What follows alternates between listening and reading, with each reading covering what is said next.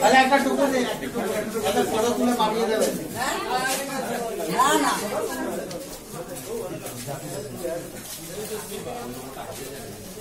Thank you.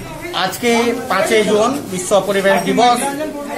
তো এই উপলক্ষে আমরা পাঁচশো বিভিন্ন বিখ্যাতি চারা বিতরণ করতেছি।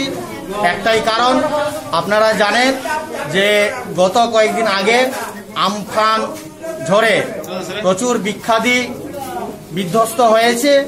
এই কারণে আমরা সেবার পক্ষ থেকে উদ্যোগ নিয়ে সমস্ত মানুষকে যাতে ওই পরিবেশে স্বাভাবিক ভারসাম্য বজায় থাকে। এই কারণে আমরা বৃক্ষদি বিতরণের পদক্ষেপ নিয়েছি।